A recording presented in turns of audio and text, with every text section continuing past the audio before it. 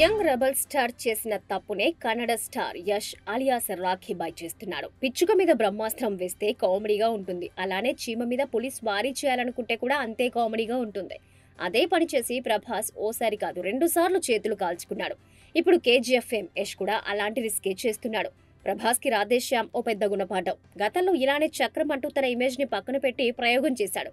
ఆ కటౌట్ నడిచొస్తూ ఉంటేనే కాసుల వర్షం కురుస్తుంది. అలాంటి తను పూర్తిగా ఇమేజ్ని పక్కన పెట్టి చక్రం లాంటి సూట్ కాని కథతో రిస్క్ చేశాడు.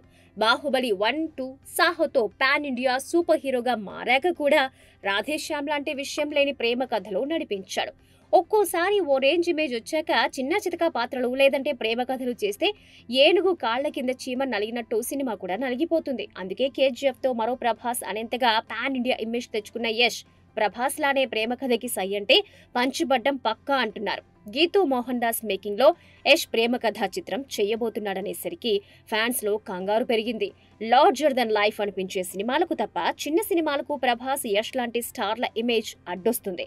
అలానే భారీ సెట్లు గ్రాఫిక్స్ పెట్టి ఓ మాదిరి ప్రేమ కథని రాధేశ్యామ్లా తీసినా పంచిపడుతుంది.